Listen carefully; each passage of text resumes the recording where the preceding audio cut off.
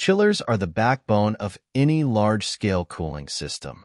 They provide chilled water that circulates through AHUs, which then cool the air distributed throughout the building.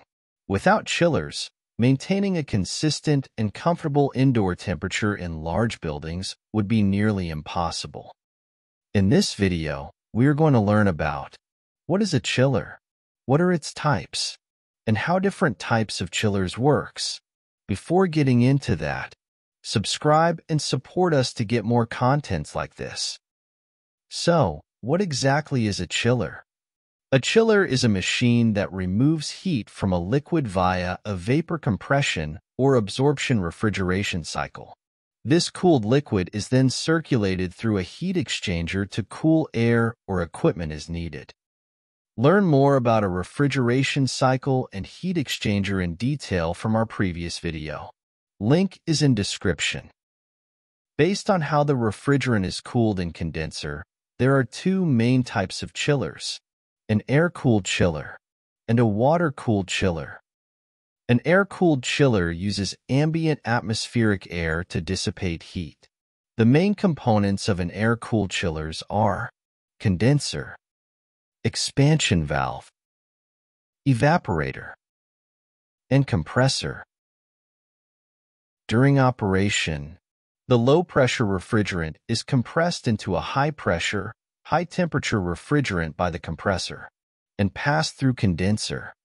At condenser, the high-pressure refrigerant releases heat to the surrounding air, cooling down and condensing into a high-pressure liquid. In an air-cooled chiller, fans help move ambient atmospheric air over the condenser coils to dissipate heat. The high-pressure liquid after condensation is passed through expansion valve, which reduces the pressure and temperature of the refrigerant before it enters the evaporator. In the evaporator, the refrigerant absorbs heat from the chilled water released from AHU, evaporating into a low-pressure refrigerant. And this low-pressure refrigerant is compressed again, and the cycle repeats. This type of chiller is typically used in smaller facilities and where water supply might be limited.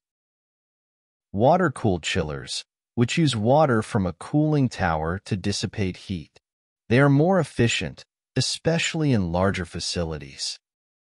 The main components of a water-cooled chillers are condenser, expansion valve, evaporator, compressor, condenser pump, and cooling tower.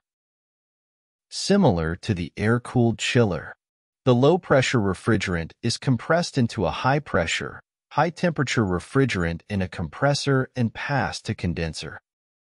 In condenser, the refrigerant releases heat to the water, which is then cooled in the cooling tower. A cooling tower is a special setup which releases heat from water to the atmosphere through evaporation. Here, the hot water from condenser is cooled and pumped back to condenser through condenser pumps.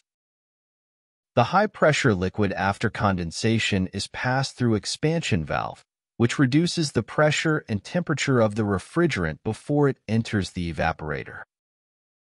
In the evaporator, the refrigerant absorbs heat from the chilled water released from AHU, evaporating into a low-pressure refrigerant. And this low-pressure refrigerant is compressed again, and the cycle repeats.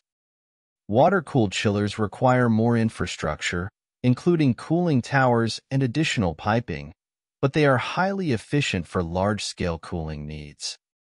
In short, chillers are a vital part of HVAC systems, providing the necessary cooling to maintain comfortable and efficient environments. Whether air-cooled or water-cooled, understanding their components and working principles helps in choosing the right system for your needs. Thanks for watching. Don't forget to like, subscribe, and hit the bell icon for more insights into HVAC systems and technology. Stay cool and see you next time.